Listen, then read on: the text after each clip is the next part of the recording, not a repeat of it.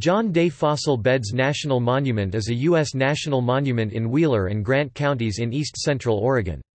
Located within the John Day River Basin and managed by the National Park Service, the park is known for its well-preserved layers of fossil plants and mammals that lived in the region between the late Eocene, about 45 million years ago, and the late Miocene, about 5 million years ago. The monument consists of three geographically separate units, Sheep Rock, Painted Hills, and Clarno. The units cover a total of 13,944 acres 5,643 hectares of semi-desert shrublands, riparian zones, and colorful badlands. About 210,000 people frequented the park in 2016 to engage in outdoor recreation or to visit the Thomas Condon Paleontology Center or the James Cant Ranch Historic District. Before the arrival of Euro-Americans in the 19th century, the John Day Basin was frequented by Sahaptin people who hunted, fished, and gathered roots and berries in the region.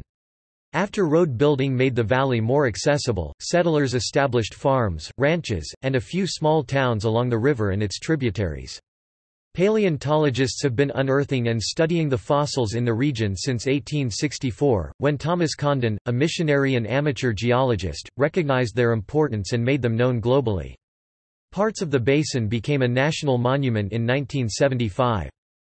Averaging about 2,200 feet 670 meters in elevation, the monument has a dry climate with temperatures that vary from summer highs of about 90 degrees Fahrenheit 32 degrees Celsius to winter lows below freezing. The monument has more than 80 soil types that support a wide variety of flora, ranging from willow trees near the river to grasses on alluvial fans to cactus among rocks at higher elevations. Fauna include more than 50 species of resident and migratory birds. Large mammals like elk and smaller animals such as raccoons, coyotes, and voles frequent these units, which are also populated by a wide variety of reptiles, fish, butterflies, and other creatures adapted to particular niches of a mountainous semi-desert terrain.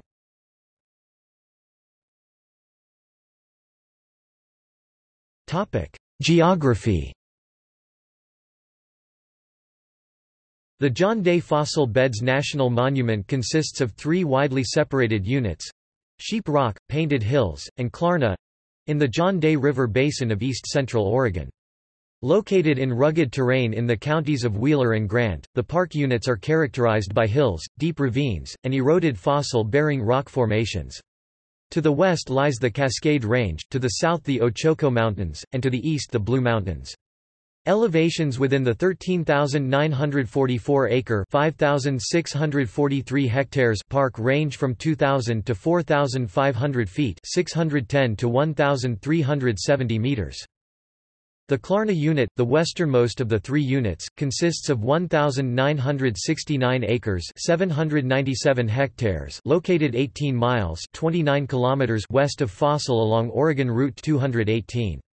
The Painted Hills unit, which lies about halfway between the other two, covers 3,132 acres 1,267 hectares.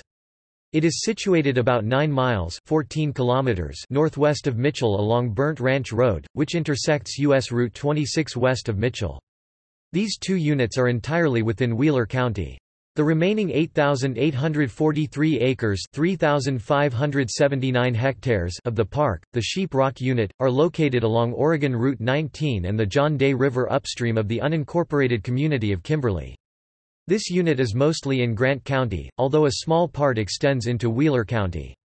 The Sheep Rock unit is further subdivided into the Mascall Formation Overlook, Picture Gorge, the James Cant Ranch Historic District, Cathedral Rock, Blue Basin, and the Foree area. Some of these are separated from one another by farms, ranches, and other parcels of land that are not part of the park. The park headquarters and main visitor center, both in the Sheep Rock unit, are 122 miles 196 kilometers northeast of Bend and 240 miles 390 kilometers southeast of Portland by highway. The shortest highway distances from unit to unit within the park are Sheep Rock to Painted Hills, 45 miles 72 kilometers, Painted Hills to Clarno, 75 miles 121 kilometers, and Clarno to Sheep Rock, 81 miles 130 kilometers. The John Day River, a tributary of the Columbia River, flows generally west from the Strawberry Mountains before reaching the National Monument. It turns sharply north between the Mascall Formation overlook and Kimberly, where the North Fork John Day River joins the main stem. Downstream of Kimberly, the river flows generally west to downstream of the unincorporated community of Twickenham, and generally north thereafter. Rock Creek enters the river at the north end of Picture Gorge. Bridge Creek passes through Mitchell, then north along the eastern edge of the Painted Hills Unit to meet the John Day downstream of Twickenham. Intermittent streams in the Clarno unit empty into Pine Creek, which flows just beyond the south edge of the unit and enters the John Day upstream of the unincorporated community of Clarno.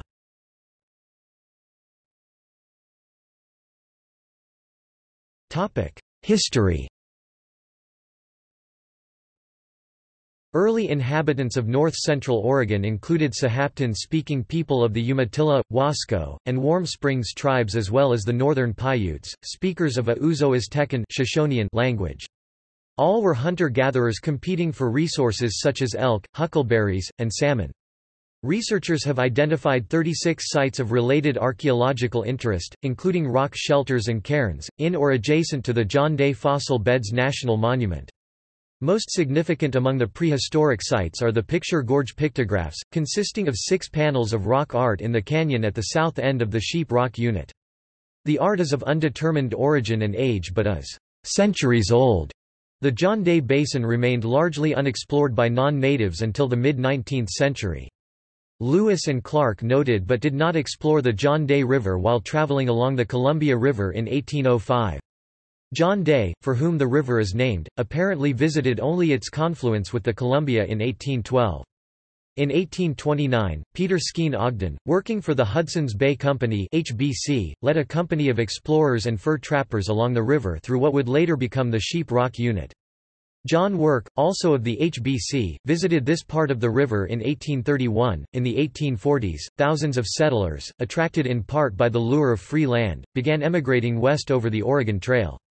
Leaving drought, worn-out farms, and economic problems behind, they emigrated from states like Missouri, Illinois, and Iowa in the Midwest to Oregon, especially the Willamette Valley in the western part of the state. After passage of the Homestead Act of 1862 and the discovery of gold in the upper John Day Basin, a fraction of these newcomers abandoned the Willamette Valley in favor of eastern Oregon. Some established villages and engaged in subsistence farming and ranching near streams. Settlement was made more practical by a supply route from the Dalles on the Columbia River to gold mines at Canyon City in the upper John Day Valley. By the late 1860s, the route became formalized as the Dalles Military Road, which passed along Bridge Creek and south of Sheep Rock. Clashes between natives and non-natives and the desire of the U.S. government to populate the region with Euro-Americans led to the gradual removal of native residents to reservations, including three in north-central Oregon, Warm Springs, Burns Paiute, and Umatilla. In 1864, a company of soldiers sent to protect mining camps from raids by northern Paiutes discovered fossils in the Crooked River region, south of the John Day Basin. One of their leaders, Captain John M. Drake, collected some of these fossils for Thomas Condon, a missionary pastor and amateur geologist who lived in the Dalles. Recognizing the scientific importance of the fossils, Condon accompanied soldiers traveling through the region. He discovered rich fossil beds along Bridge Creek and near Sheep Rock in 1865. Condon's trips to the area and his public lectures and reports about his finds led to wide interest in the fossil beds among scientists such as Edward Drinker Cope of the Academy of Natural Sciences. One of them, paleontologist Othniel C. Marsh of Yale, accompanied Condon on a trip to the region in 1871. Condon's work led to his appointment in 1872 as Oregon's first state geologist and to international fame for the fossil beds. Specimens from the beds were sent to the Smithsonian Institution and other museums worldwide, and by 1900 more than 100 articles and books had been published about the John Day fossil beds. During the first half of the 20th century, scientists such as John C. Merriam, Ralph Chaney, Frank H. Knowlton, and Alonzo W. Hancock continued work in the fossil beds, including those discovered near Clarno in about 1890. Remote and arid, the John Day Basin near the fossil beds was slow to attract homesteaders. The first settler in what became the Sheep Rock Unit is thought to have been Frank Butler, who built a cabin along the river in 1877. In 1881, Eli Casey Officer began grazing sheep on a homestead claim in same general area. His son Floyd later lived there with his family and sometimes accompanied Condon on his fossil hunts. In 1910, James and Elizabeth Cant bought 700 acres 280 hectares from the Officer family, and converted it to a sheep ranch, which was eventually expanded to a sheep and cattle ranch of about 6,000 acres 2,400 hectares.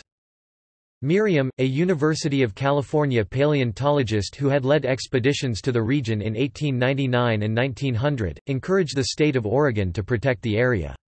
In the early 1930s the state began to buy land for state parks at Picture Gorge, the Painted Hills, and Clarno that later became part of the National Monument.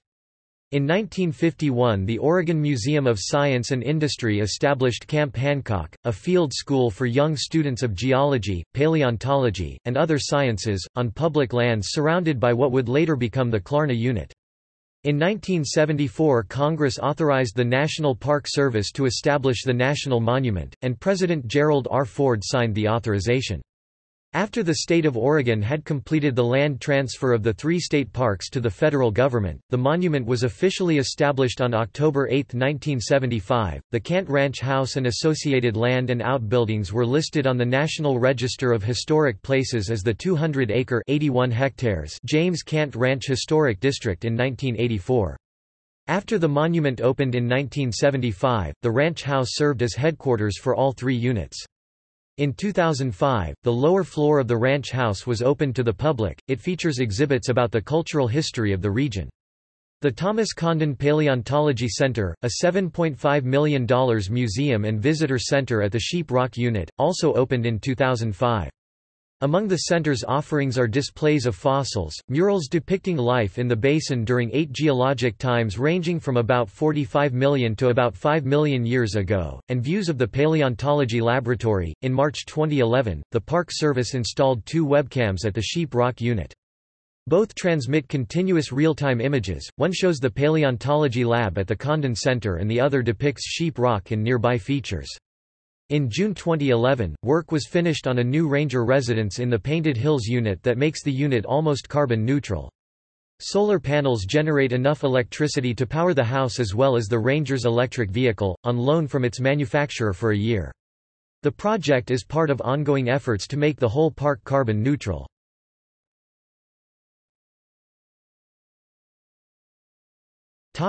Geology and paleontology The John Day Fossil Beds National Monument lies within the Blue Mountains physiographic province, which originated during the late Jurassic and early Cretaceous, about 118 to 93 million years ago. Northeastern Oregon was assembled in large blocks exotic terrains of Permian, Triassic, and Jurassic rock shifted by tectonic forces and accreted to what was then the western edge of the North American continent, near the Idaho border. By the beginning of the Cenozoic era, 66 million years ago, the Blue Mountains province was uplifting that is, was being pushed higher by tectonic forces, and the Pacific Ocean shoreline, formerly near Idaho, had shifted to the west. Volcanic eruptions about 44 million years ago during the Eocene deposited lavas accompanied by debris flows lahars atop the older rocks in the western part of the province. Containing fragments of shale, siltstone, conglomerates, and breccias, the debris flows entombed plants and animals caught in their paths. The remnants of these ancient flows comprise the rock formations exposed in the Clarno unit. Preserved in the Clarno nut beds are fossils of tropical and subtropical nuts, fruits, roots, branches, and seeds. The Clarno Formation also contains bones, palm leaves longer than 24 inches 61 centimeters, avocado trees, and other subtropical plants from 50 million years ago, when the climate was warmer and wetter than it is in the 21st century. Large mammals that inhabited this region between 50 and 35 million years ago included browsers such as brontotheres and amynodonts, scavengers like the hyaenodonts, as well as Patriofelis and other predators. Eroded remnants of the Clarno stratovolcanoes, once the size of Mount Hood, are still visible near the monument, for example Black Butte, White Butte, and other buttes near Mitchell. After the Clarno volcanoes had subsided, they were replaced about 36 million years ago by eruptions from volcanoes to the west, in the general vicinity of what would become the Cascade Range. The John Day volcanoes, as they are called, emitted large volumes of ash and dust, much of which settled in the John Day Basin. As with the earlier Clarno debris flows, the rapid deposition of ash preserved the remains of plants and animals living in the region. Because ash and other debris fell during varied climatic and volcanic conditions and accumulated from many further eruptions extending into the early Miocene about 20 million years ago, the sediment layers in the fossil beds vary in their chemical composition and color. Laid down on top of the Clarno strata, the younger John Day strata consist of several distinct groups of layers. The lowermost contains red ash such as that exposed in the Painted Hills unit. The layer above it is mainly pea-green clay. On top of the pea-green layer are buff-colored layers. Fossils found in the John Day strata include a wide variety of plants and more than 100 species of mammals, including dogs, cats, oreodonts, saber-toothed tigers, horses, camels, and rodents. The Blue Basin and the Sheep Rock unit contain many of these same fossils, as well as turtles, opossums, and large pigs. More than 60 plant species are fossilized in these strata, such as hydrangea, peas, hawthorn, and mulberry, as well as pines and many deciduous trees. One of the notable plant fossils is the metasequoia dawn redwood, a genus thought to have gone extinct worldwide until it was discovered alive in China in the early 20th century. After another period of erosion, a series of lava eruptions from fissures across northeastern Oregon, southeastern Washington, and western Idaho inundated much of the Blue Mountain province with liquid basalt. Extruded in the Middle Miocene between 17 and 12 million years ago, more than 40 separate flows contributing to the Columbia River basalt group have been identified, the largest of which involved up to 400 cubic miles 1,700 cubic kilometers of lava. The most prominent of these formations within the monument is the Picture Gorge basalt, which rests above the John Day Strata. Subsequent ashfall from eruptions in the Cascade Range in the late Miocene contributed to the Mascall Formation. Layers of stream deposited volcanic tuffs laid atop the Picture Gorge basalt. Preserved in the Mascall are fossils of animals such as horses, camels, rhinoceroses, bears, pronghorn, deer, weasels, raccoons, cats, dogs, and sloths. These fauna thrived in the monument's open woodland and savanna between 15 and 12 million years ago. The fossils of oak, sycamore, maple, ginkgo, and elm trees reflect the area's cool climate during this time period. The last major eruption occurred in the late Miocene, about 7 million years ago. The resulting stratum, the Rattlesnake Formation, lies on top of the Mascall and contains an ignimbrite. The rattlesnake stratum has fossils of mastodons, camels, rhinoceroses, the ancestors of dogs, lions, bears, and horses, and others that grazed on the grasslands of the time. Two fossilized teeth found recently in the rattlesnake stratum near Dayville are the earliest record of beaver, Castor californicus, in North America. The beaver teeth, which are about 7 million years old, have been scheduled for display at the Condon Center. The monument contains extensive deposits of well-preserved fossils from various periods spanning more than 40 million years. Taken as a whole, the fossils present an unusually detailed view of plants and animals since the late Eocene.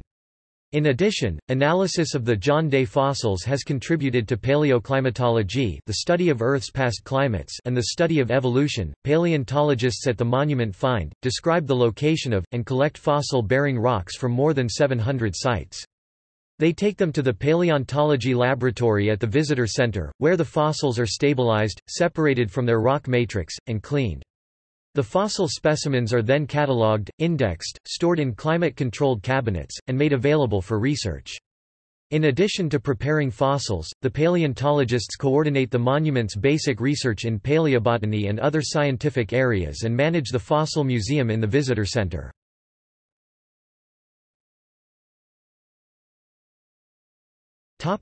Climate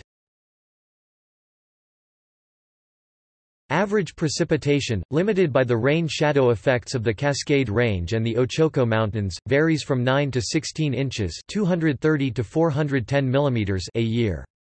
In winter, much of the precipitation arrives as snow. Weather data for the city of Mitchell, near the Painted Hills unit, show that July and August are the warmest months, with an average high of 86 degrees Fahrenheit (30 degrees Celsius) and an average low of 52 degrees Fahrenheit (11 degrees Celsius).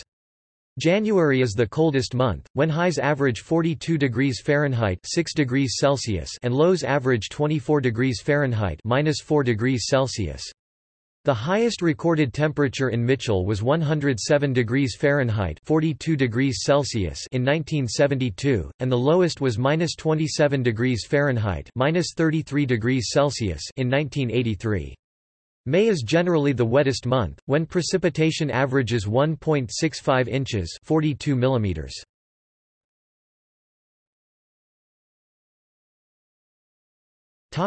Biology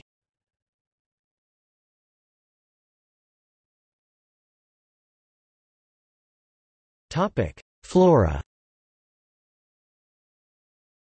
More than 80 soil types support a wide variety of flora within the monument. These soils stem from past and present geologic activity as well as ongoing additions of organic matter from life forms on or near the surface. Adapted to particular soil types and surface conditions, these plant communities range from riparian vegetation near the river to greasewood and saltgrass on the alluvial fans to plants such as hedgehog cactus in rocky outcrops at high elevation. Important to many of these communities is a black cryptobiotic crust that resists erosion, stores water, and fixes nitrogen used by the plants. The crust is composed of algae, lichens, mosses, fungi, and bacteria. Other areas of the monument have little or no flora. Volcanic tuffs and claystones that lack essential nutrients support few microorganisms and plants. Likewise, hard rock surfaces and steep slopes from which soils wash or blow away tend to remain bare. Native grasses thrive in many parts of the monument despite competition from medusahead rye, Dalmatian toadflax, cheatgrass, and other invasive species.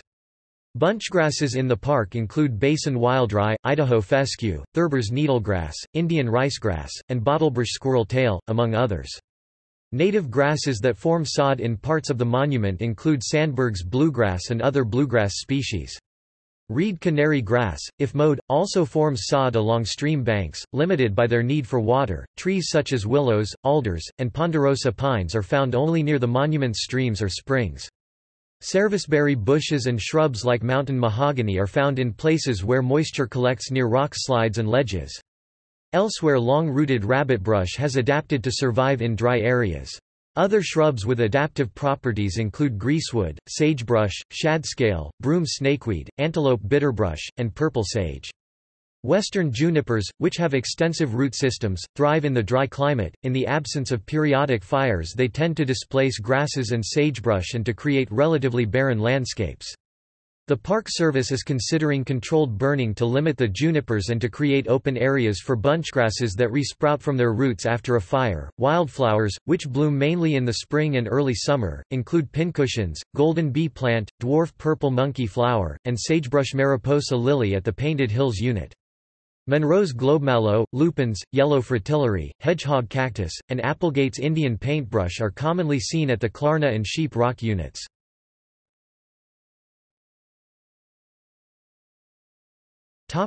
Fauna Birds are the animals most often seen in the monument.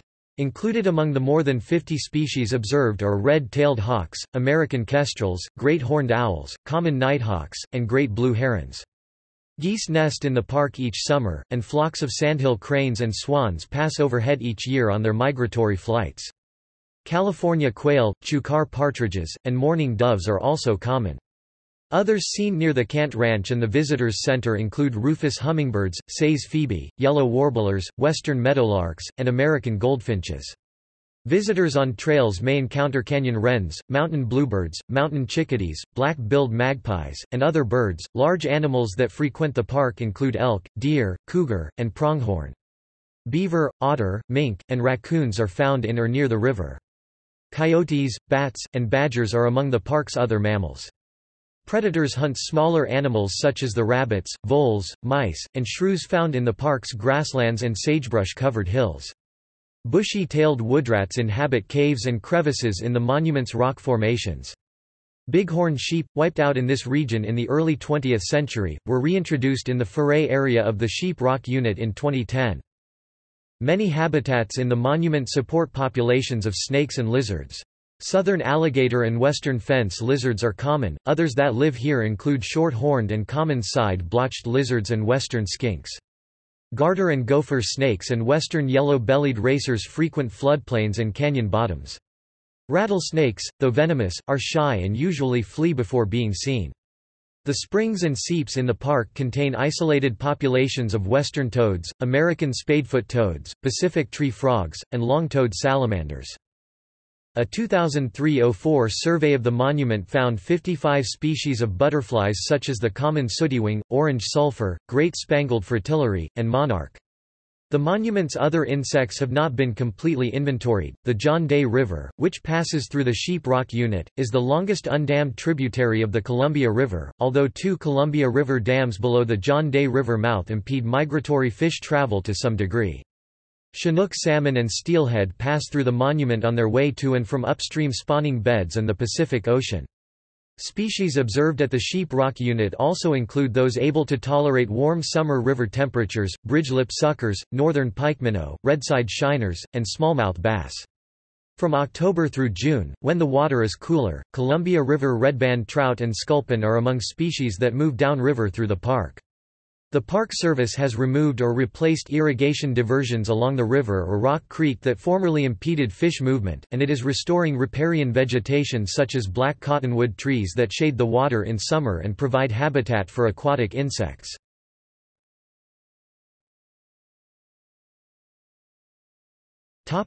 Activities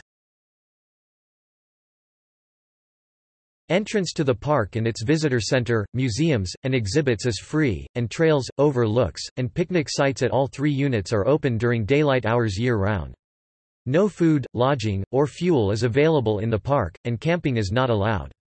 Hours of operation for the Cant Ranch and its cultural museum vary seasonally. The Thomas Condon Paleontology Center is open every day from 10 a.m. to 5 p.m. except for federal holidays during the winter season from Veterans Day in November through President's Day in February. Its amenities include a fossil museum, theater, education classroom, bookstore, restrooms, and drinking fountains. There is no cell phone or pay telephone service in the monument.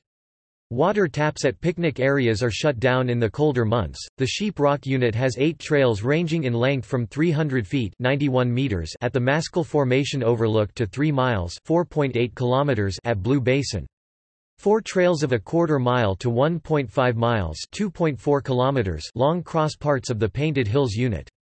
At the Clarno unit, three separate quarter-mile trails begin at a parking lot along Oregon Route 218, below the face of the Clarno Palisades.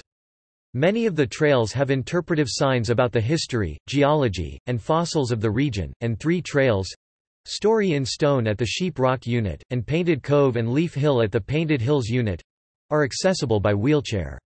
Visitors are asked to stay on the trails and off bare rock and hardpan to avoid damage to fossils and fragile soils. Ranger led events at the monument have historically included indoor and outdoor talks, showings of an 18 minute orientation film, hikes in Blue Basin, Cant Ranch walking tours, and astronomy programs at the Painted Hills unit.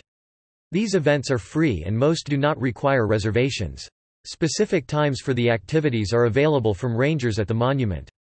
For students and teachers, the Park Service offers programs at the monument as well as fossil kits and other materials for classroom use. Pets are allowed in developed areas and along hiking trails but must be leashed or otherwise restrained.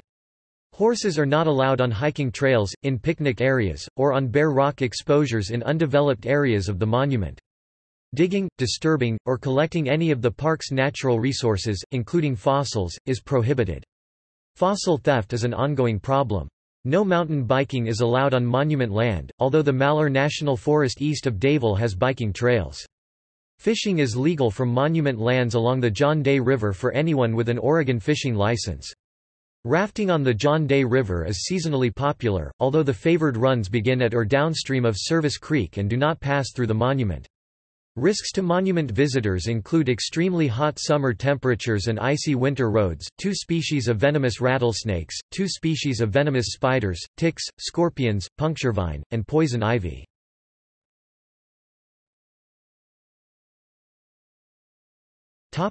See also List of fossil sites List of national monuments of the United States